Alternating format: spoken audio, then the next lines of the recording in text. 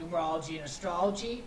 The Oakland Raiders are going to win Super Bowl 56 with number four Derek Carr to give the Raiders their fourth Super Bowl title in the fourth year of Jon Gruden's return to the franchise. The Raiders, they'll win the Super Bowl in Las Vegas in the year of Super Bowl 56. It all has to do with Chinese astrology and the Chinese zodiac. Derek Carr is born in the year 91. 91 is the goat in the order. The goat is number 8. And yes, this would be his fifth season.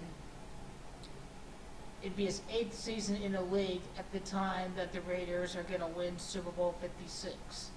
I have them penciled in to lose Super Bowl 54. I'm going to stick with that, but Super Bowl 56, I'm the first to use gematria to predict that over a year ago, Super Bowl 56. Year, Jon Gruden, born in 1963. 1963 is the Rabbit. The Rabbit, fourth in the order, the Chinese Zodiac. Derek Carr, number four. He's not going anywhere. He's not going to get traded. He's going to be a Super Bowl winning quarterback. Mark my words. I take this guy over any scrub out there like Kirk Cousins or Sam Darnold or Mitch Trubisky or Matthew Stafford or any of those bums that are going nowhere near the Super Bowl like Matt Ryan, what you have it. Okay, this guy's going to ball it out. He's going to be a big winner with Jon Gruden once they build the team that they envision to construct together. So his fourth year since his return to Oakland is going to deliver championship number four with number four Derek Carr. Carr has four letters. The Raiders will be Super Bowl champions by that time, by Super Bowl 56. That's the year they're going to win it.